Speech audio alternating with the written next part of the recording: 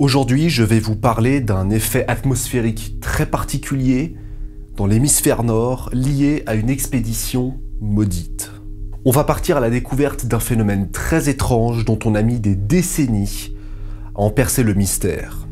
À la fin du XVIe siècle, plus précisément en 1594, le navigateur hollandais Willem Barents désire trouver une nouvelle route maritime commerciale pour aller en Asie de l'Est notamment en Chine et au Japon. Son idée est de passer au large de la Norvège et de traverser l'océan Arctique, encore bien trop peu connu à l'époque. Le XVIe siècle est marqué par des expéditions historiques, comme le tout premier tour du monde en bateau. En voulant créer une nouvelle voie vers l'Est, plus précisément le Nord-Est, Barents voulait entrer dans la légende.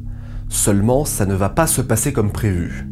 Lui et son équipage vont cependant découvrir l'archipel de la Nouvelle-Zamble, composé de deux îles principales. Alors qu'il arrive à son extrémité nord, il rebrousse chemin à cause des conditions climatiques trop extrêmes. En 1595, il tente une seconde expédition, qui va échouer. Puis une troisième, et malgré de belles découvertes, il ne réussira jamais à atteindre son objectif. S'il n'avait pas échoué, Barents aurait pu découvrir le passage entre la ville d'Anadir et l'Alaska, découvert par Titus Bering 13 décennies plus tard. Coincé par les glaces, son navire échoua et l'équipage fut forcé à hiberner sur les terres émergées. Ces derniers réussiront à retourner en Hollande, à l'exception notable de Willem Barents lui-même, qui succomba de son affaiblissement le 20 juin 1597.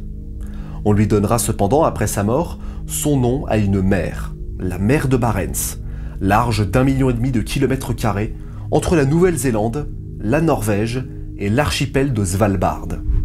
L'histoire s'est transmise de génération en génération et il faudra attendre un bon siècle pour naviguer dans ces eaux sans danger.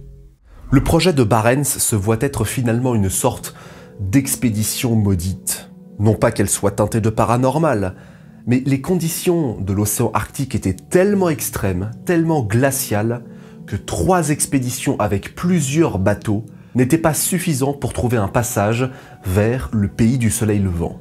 Parlons maintenant de Gerrit de Ver. C'est un explorateur qui a participé activement aux expéditions de Barents. Après avoir survécu au froid glacial, il rentre en Hollande sans jamais refaire aucun nouveau voyage en mer. Tu m'étonnes. Il relatera les faits qui se sont produits et publiera l'épopée du navire coincé dans la glace. Mais si je vous parle de ce gaillard, c'est aussi parce qu'il fut témoin d'un phénomène plutôt étrange. La Nouvelle-Zamble est très proche du pôle Nord, ce qui signifie qu'à l'inverse des zones équatoriales, le soleil prend un temps considérable pour se coucher. Lors de l'hibernation de l'équipage en 1596, Gerrit de Ver observe un spectacle très étrange le Soleil semble ne jamais réellement passer sous l'horizon. Une partie de sa lumière est toujours visible, et son aspect est déformé jusqu'à être aplati comme une crêpe. À l'époque, on avait déjà conscience de la différence des levées et couchers de soleil près des pôles, et on connaissait également le concept de jour polaire.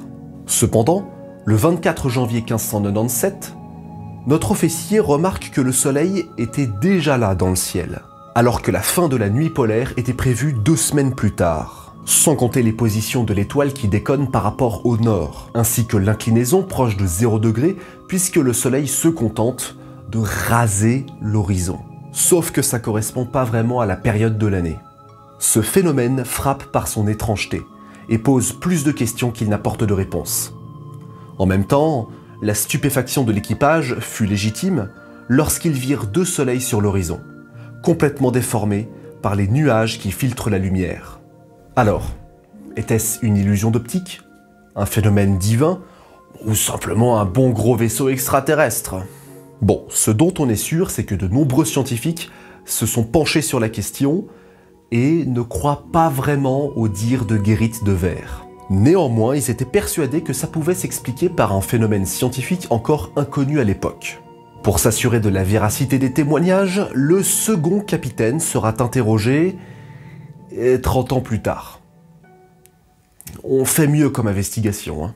C'est sans compter l'arrivée dans cette étrange affaire de l'un des plus célèbres de tous les astronomes de l'époque, Johannes Kepler. Dans un ouvrage publié en 1604 et dont le titre est mille fois trop long, Kepler va émettre une hypothèse des plus audacieuses. Puisque l'atmosphère possède une masse et qu'on peut s'en assurer par le biais du vent ou des nuages, il va la comparer à une plaque de verre géante, qui réfléchit la lumière de telle sorte à ce qu'elle soit déviée de sa trajectoire d'origine.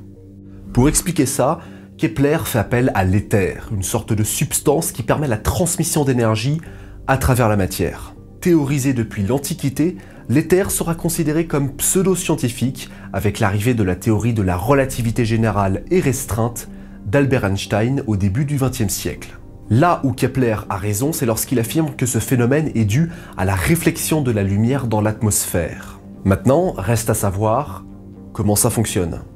Au début du XXe siècle, les explorateurs du monde entier s'attaquent à l'Antarctique.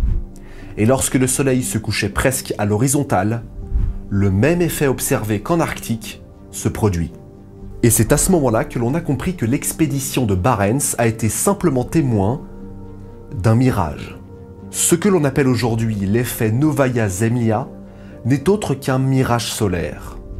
À cause de la réfraction de la lumière due à l'atmosphère, il est possible près des zones polaires d'observer le Soleil à l'horizon alors qu'il est déjà couché, ce qui signifie que les rayons de notre étoile, qui parviennent jusqu'à nos yeux, ont été déviés et leur trajectoire courbée à cause de la pression atmosphérique. De la même manière que l'on pourrait apercevoir un navire fantomatique à l'horizon alors qu'il n'est techniquement plus à notre portée, prouvant ainsi les effets étranges que propose la courbure de la Terre.